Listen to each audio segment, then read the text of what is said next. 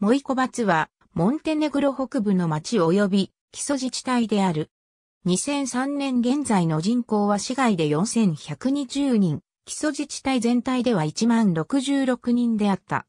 モイコバツは、タラ川の西岸に位置し、ビーエラシツァ山やシニャイエビナ山との間に位置する。近隣には、古い鉱山の町、ブルスコボがある。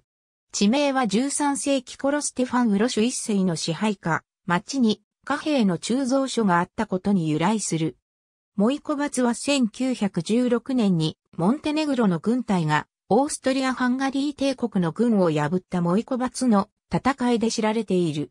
モイコバツはいくつか見どころがあり、タラ川でラフティングが楽しめる。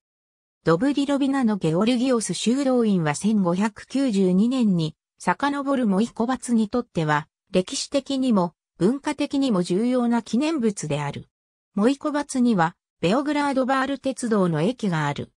幹線道路は、モンテネグロ沿岸部と、ポドゴリツァやモンテネグロ北部やセルビアとを結ぶ欧州、自動車道路65、80号線が経由しジャブ略やプリエブラへ通じている。ポドゴリツァ空港からは 105km 離れている。ありがとうございます。